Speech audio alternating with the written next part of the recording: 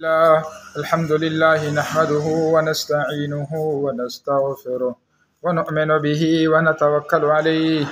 وقال الله تبارك وتعالى يا أيها الذين آمنوا إذا ناجيتم الرسول فقدموا بين يدي نجواكم صدقة ذلك خير لكم وأطهر فإن لم تجدوا فإن الله غفور رحيم. رزیز بھائی اور دوستو، قرآن پاک کی آیت ہے اور اللہ تعالیٰ یہ فرماتے ہیں، جس کا مفہوم ہے کہ اے ایمان والو، جب تم اپنے رسول صلی اللہ علیہ وسلم سے سرگوشی کرنے لگو، تو سرگوشی کرنے سے پہلے کچھ خیرات کر لیا کرو، یہ تمہارے لیے بہتر ہے یعنی تمہارے لیے ثواب کی چیز ہے۔ اور اگر خیرات کرنے کی طاقت نہ ہو تو واللہ غفور الرحیم فن اللہ غفور الرحیم۔ بے شک اللہ تعالیٰ معاف کرنے والے نہایت مہربان ہیں۔ کیونکہ ہماری بات چل رہی تھی مدینہ کے حساب سے۔ مدینہ کا سفر اور نبی اکرم صلی اللہ علیہ وسلم کے روزہ اطہر پہ حاضری۔ ایک شاعر کا یہ شعر تھا کیفیت بنانے کے لیے۔ ولما رعینہ رسم ملم یدعلنا فعادن لعرفان رسوم ولا لبا نزلنا عن الاقوار نمشی کرامتاً لمن بان عنہ ان لم به رقبہ کہ جب ہم نے اس محبوب کے شہر کے نشانات کو دیکھا، جب ہم نے اس محبوب یعنی حضرت محمد صلی اللہ علیہ وسلم کے شہر کے نشانات کو دیکھا کہ جن کے پہچاننے کے واسطے نہ تو ہمارے پاس کوئی دل رہا نہ عقل رہی، تو ہم اپنی سواریوں سے اتر گئے اور اس کے اکرام میں یعنی اس شہر، اس محبوب کے شہر کے اعزاز اور اکرام میں سواریوں سے اتر گئے اور پیدل چلنے لگے۔ اس لیے کہ اس کی شان یہی تھی، اس شہر مدینہ کی شان یہی تھی کہ ہم اس کے پاس پیدل ہو کر جائیں۔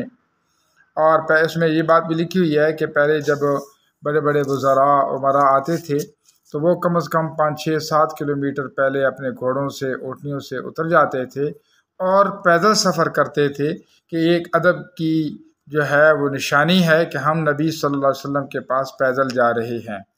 اور آگے شعر کا دوسرا مصرع، لو جیتکم قاصدن اسعا علی بصری لم اقض حقا و الحق. ادیتو ولما رأينا من ربوع حبيبنا بطيبة آلاما أثرنا لرى الحب وبالتراب منها إذا كحلنا جفوننا.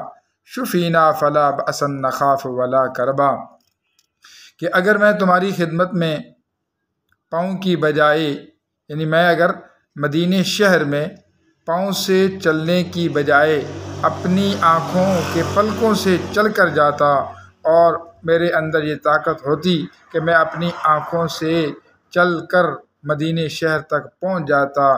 پھر بھی آپ کے مجھ پر جو احسانات ہیں یعنی حضرت محمد صلی اللہ علیہ وسلم کے، ان کا میں بدلہ نہ چکا سکتا۔ جب مدینہ پاک میں محبوب کی منزل کے آثار نظر آنے لگے تو اس نے محبت کو بھڑکا دیا۔ جب وہاں کی مٹی کو آنکھوں کا سرما بنایا تو ساری بیماریوں سے شفا ہو گئی۔ اب نہ کسی قسم کا کوئی مرض باقی ہے اور نہ ہی کسی قسم کی کوئی تکلیف باقی ہے۔ پھر فرمایا کہ شہر میں جب داخل ہو تو یہ دعا پڑھے اللہ محادہ حرام و نبیق فج الحلی وقایتاً من النار و امان من العذاب وسوء الحساب۔ اللہ، یہ تیرے نبی کا حرم آ گیا۔ اس کو تو میرے، اس کو تو میرے آگ سے بچنے کا ذریعہ بنا دے اور عذاب سے بچنے کا ذریعہ بنا دے اور حساب کی برائی سے بچنے کا ذریعہ بنا دے۔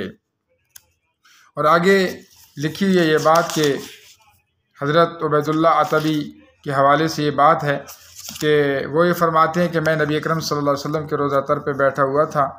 تو اس دوران ایک بدو آیا اور اس بدو نے آپ صلی اللہ علیہ وسلم پر کافی دیر تک وہ نبی اکرم صلی اللہ علیہ وسلم پر درود و شریف درود و سلام پڑھتا رہا۔